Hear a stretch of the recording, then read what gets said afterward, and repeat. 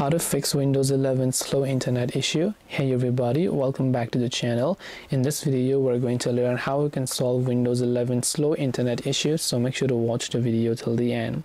So if you want to solve the slow internet issue on windows 11 first of all check if it is the internet issue itself because sometimes it could be just that the internet itself is very very slow and that's why you are not being able to connect it. So you want to make sure it is not your internet connection. Just try to turn off your Wi-Fi and turn it back on again now after you have done that you can also just try to open up settings and try to check for windows update.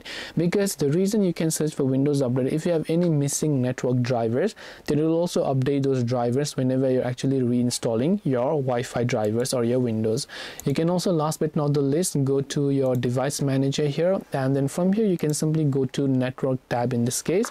So look for that network adapters here and then just right click on it and choose to update all of these options that you can find over here. You can right click on it and select the option called search automatically for drivers. So hope this video helped you. If you have got any more questions queries or doubts feel free to leave them down below. Thank you for watching till the very end of the tutorial and see you soon in the next video